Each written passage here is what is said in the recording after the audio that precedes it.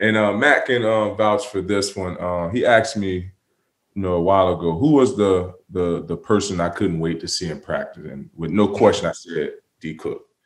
yeah. no, no doubt about it. I said D I Cook. think that was was that during OTAs, like right when training camp started. Yeah, it was doing OTA before training camp even started because just the way, you know what I mean. You came to work. You know what I mean. Your your competitive edge um, you know, the way you practice, it was like it was it was very impressive. And I had the opportunity to play with some great backs, and it's leading to my next question. You got to Minnesota, you know, after Adrian Peterson left, and I had the opportunity to play with Adrian Peterson, obviously one of the league's uh, one of the league's best.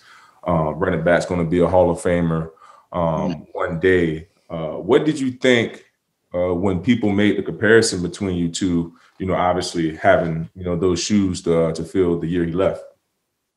Yeah, it was crazy for me because when they drafted me, um, we was last in rushing when I got here from Minnesota, 32 in the league.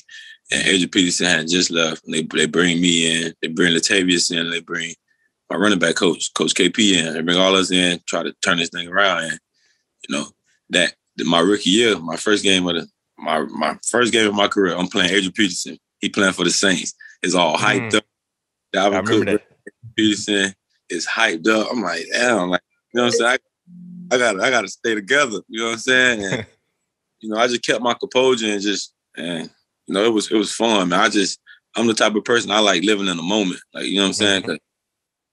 It, it don't come around often. You know what I'm saying? We don't get those chances again. And, you know, that's, that's just who I am. I just like living in the moment. And, you know, I ain't, I ain't take it as too much of a, you know, be on the high of it or, you know, you know, should I should I be Adrian Peterson? I'm just be Dalvin Cook. You know what I'm saying? I'm just come in and be me. And know, I always just stuck by that. Do you do you pay attention to the outside noise when people are trying to compare Adrian Peterson's stats to yours or, or compare your stats to his early on in your career so far? Yeah, yeah.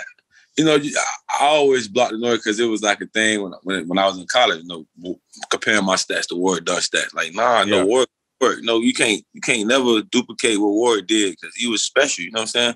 And we always we, we all special in our ways. So, you know, I don't I don't even get into it.